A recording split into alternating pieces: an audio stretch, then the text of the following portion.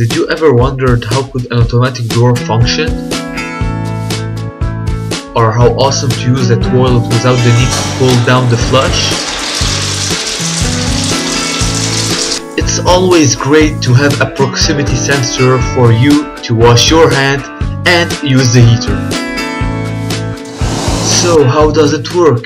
The voltage generator powers the oscillator which causes the infrared LED to start flashing. The infrared receiver is placed in parallel with the emitter so that it's prevented from detecting the flashing LED. The demodulator blocks every other infrared frequency to disable them from triggering the output. When a person passes, the receiver sees the reflection of the emitted light. This is how the output is triggered. For this project you will need a 9V battery clip, 27805 voltage regulator, 2N2222 and two N2907 transistors, an infrared receiver and a 555 timer chip, four 1K resistors, two 180 ohm resistors, two 500K pot, 0.1 microfarad, 1.5 nanofarad and 3300 microfarad capacitor, an LED, an infrared LED, one N4007 diode, and of course our 5 volt relay.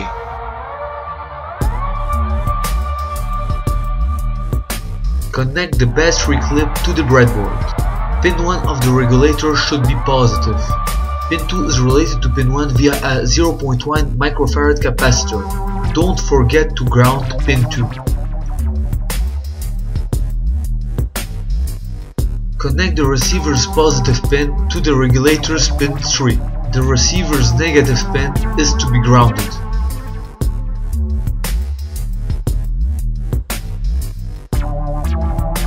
Connect the receiver's output to the LED's cathode. The other LED's pin is connected to the 2N2907's base via the 1K. Then relate the transistor's emitter to the regulator's output. Till now, the receiver is supposed to function properly.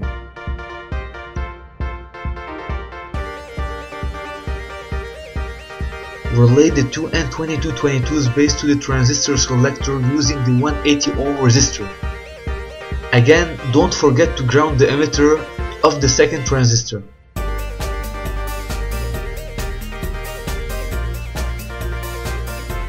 You shall now relay the 1K resistor to the first transistor's collector. Then connect in series the 500K pot.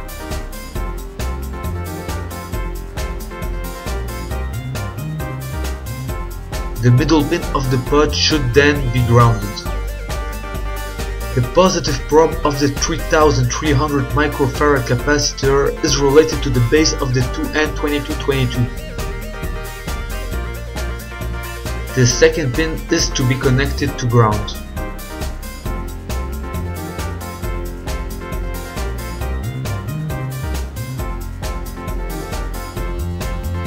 The 2N2222's collector is related to the diode's anode. The relay is added in parallel to the diode and is then connected to the regulator's output.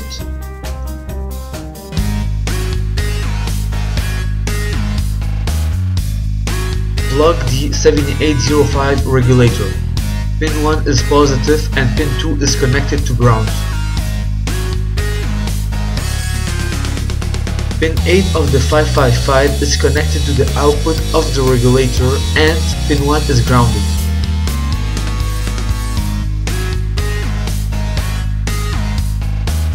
Connect pin 2 to pin 6. Pin 2 is as well grounded via a 1.5 nanofarad capacitor. Connect pin 4 to pin 8.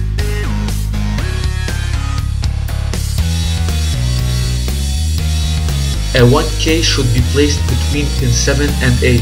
Another 1K is placed in series with a 500K pot. This spot is then related to pin 6 and 2.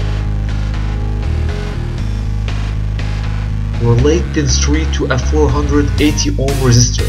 The infrared LED's anode is connected to the resistor and the cathode is grounded. With a camera, verify if the infrared LED is working. because it can be seen directly by human's eyes.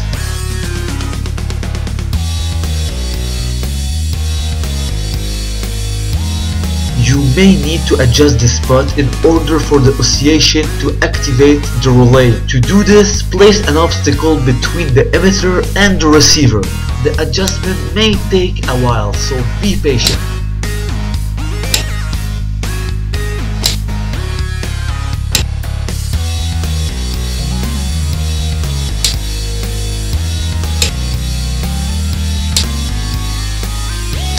Now let's use the relay to power on another circuit. We will place in series a battery and a motor. When the switch is activated, the motor should start spinning.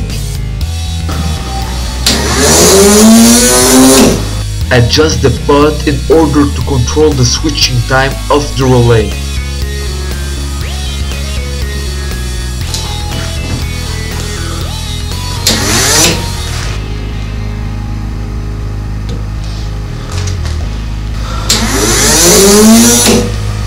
If you enjoyed the video, just give me a like, it will help me a lot. And as always, thanks for watching.